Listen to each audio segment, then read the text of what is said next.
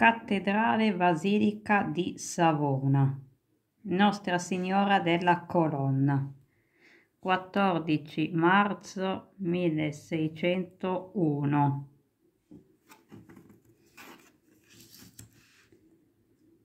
L'immagine di Nostra Signora della Colonna, dipinta a fresco su un sottile intonaco, si staccò miracolosamente da una colonna della vecchia chiesa di San Francesco in Savona il 14 marzo 1601.